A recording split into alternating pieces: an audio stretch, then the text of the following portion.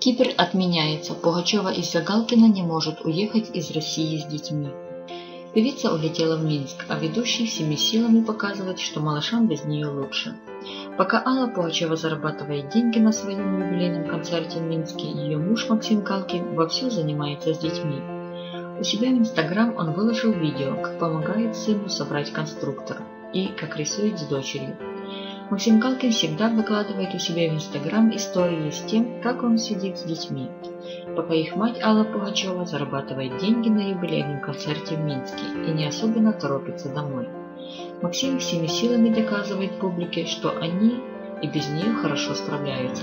Или он показывает это самой Алле, намекая на то, что и без нее дети счастливы.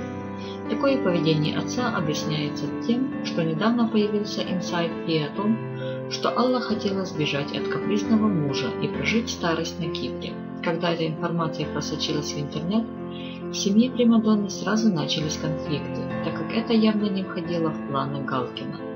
Ведь с Аллой он может спокойно прожигать свою жизнь, почти не работая, оставаясь на обеспечении богатой жены.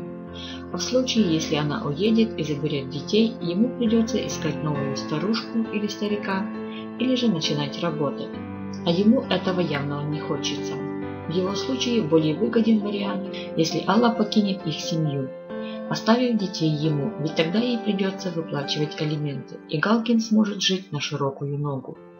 Ясно, что он постарается всеми способами не допустить разлуки с детьми, и теперь еще и всеми силами показывает, какой он хороший отец, и что малышам без мамы лучше. Кипр для Пугачевой пока что отменяется, ведь без юридического разрешения мужа она не может уехать из России вместе с детьми. Возможно, дело в том, что Алла наконец увидела истинную сущность своего возлюбленного. Ведь неспроста ходят слухи, что Алла только за порог, а к Галкину сразу Дроботенко.